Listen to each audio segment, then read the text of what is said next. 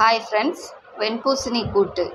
அதான் அந்த தடியங்காய் சொல்லுவாங்கள்ல அதோட கூட்டு வைக்கிறது எப்படின்னு ஒரு சின்ன டிப்ஸ் ஃபஸ்ட்டு மசாலாவுக்கு தேங்காய் பச்சை மிளகா சீரகம் வெங்காயம்.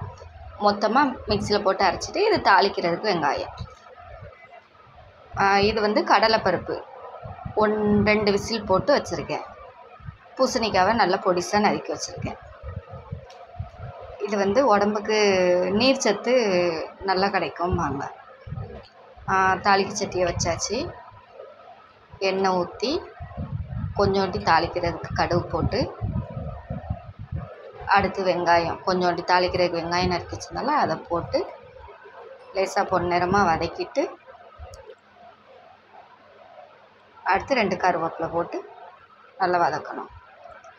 வதக்கிட்டு அந்த பூசணிக்காய் பொடிசு பொடிசாக நறுக்கி வச்சுருக்கோம்ல அந்த பூசணிக்காவை போட்டு கிளறி கிளறி விட்டு மூடி வச்சுட்டு கொஞ்சம் வேகத்தோன்னு விட்டுறணும் கொஞ்சம் வெந்தோடனே அந்த பருப்பு அவிச்சு வச்சுருக்க கடலை பருப்பை அதில் போட்டு நல்லா கிண்டி விட்டுட்டு தேங்காய் மசாலாவுக்கு ரெடி பண்ணி வச்சுருக்கோம் இல்லையா அதெல்லாம் அரைச்சி நல்ல மையா பேஸ்ட் மாதிரி அரைச்சி எடுத்துக்கணும்.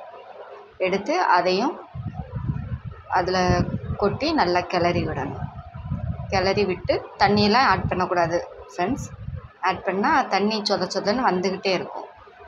இப்போது நல்லா வெந்தோடனே பூசணிக்காய் கூட்டு ரெடி ஆயிடுச்சு.